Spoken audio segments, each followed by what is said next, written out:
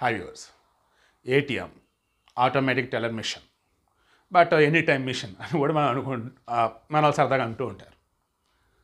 Any time money అన్నట్టు not machine okay so ఇప్పటివరకు డబ్బుల గురించే ఏటీఎంలు అంటే. బట్ uh, ఇప్పుడు ఏంటి బంగారం. ఎస్ ఏటీఎంలో మీరు కార్డే పెడతారు డెబిట్ కార్డు క్రెడిట్ కార్డులో పెడతారు.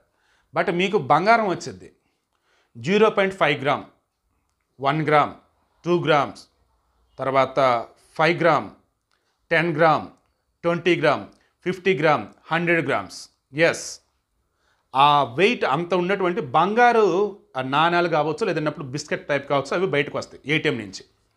ఇది హైదరాబాదులో ఈ అశోక రఘుపతి ఛాంబర్స్ అని ఏదైతే ఉందో బేగంపేటలో అక్కడ ఈ గోల్డ్ సిక్కా వాళ్ళు కంపెనీ వాళ్ళు రాష్ట్ర మహిళా కమిషన్ చైర్పర్సన్ ఎవరైతే ఉన్నారో సునీత లక్ష్మారెడ్డి గారు ఆమె చేతుల మీదుగా లాంచ్ చేయడం జరిగింది.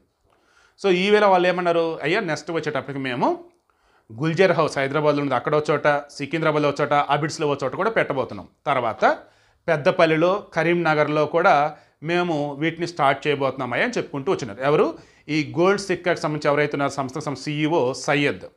సో ఈ మార్నింగ్ తొమ్మిది గంటల యాభై నిమిషాల నుంచి రాత్రి పదకొండున్నర వరకు ఈ గోల్డ్ ఏటీఎంలు ఓపెన్ చేసే ఉంటాయి.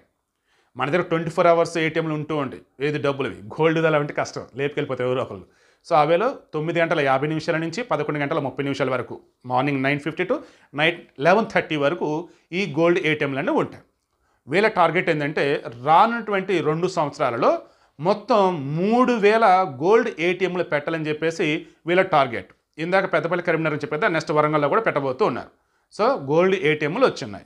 మీ క్రెడిట్ కార్డు డెబిట్ కార్డు పెట్టేసి హ్యాపీగా తీసుకోవచ్చు.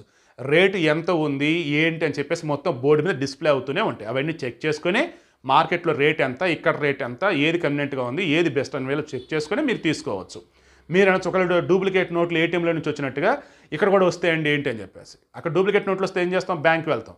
ఇక్కడ ఒకవేళ నకిలీది కనుక వస్తే ఏమైంది? ఇలా ఇజ్జత్ అంతా పోయింది. అండ్ మోరర్ గవర్నమెంట్ వచ్చేసి బ్యాన్ చేస్తుంది. కాబట్టి డూప్లికేట్ ఉంది ఒరిజినల్ ఉంటుంది. ఇన్ కేసు మీకు డౌట్ కనుక ఉంటే బయట టెస్ట్ చేయించేసి ఆ వీడియో ఏదైతే ఉంటుందో మీరు తీసినప్పుడు కావచ్చు టెస్ట్ చేయించింది కావచ్చు లైక్ ఈ వేలో దాని సంబంధించిన రిసిప్ట్లు కూడా ఏవోటి వస్తాయి కాబట్టి అవన్నీ జాగ్రత్త దగ్గర పెట్టుకొని ఆ సంస్థలను అప్రోచ్ అయితే వాళ్ళే దాని మీద సంబంధించేసి మీకు క్లారిటీ ఇవ్వటం కావచ్చు మీకు ఒరిజినల్ ఇవ్వటం కావచ్చు వాళ్ళు చేస్తారు.